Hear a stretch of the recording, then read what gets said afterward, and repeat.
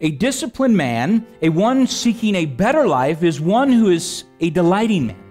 But his delight is in the law of the Lord, and in his law doth he meditate day and night. Delight thyself also in the Lord, and he shall give thee the desires of thine heart. I think what God is doing is he's actually placing in you certain desires, certain desires. One commentator says this one who delights in him will have righteous desires. Beware that thou forget not the Lord thy God, in not keeping his commandments and his judgments and his statutes which I command thee this day. So beware of this.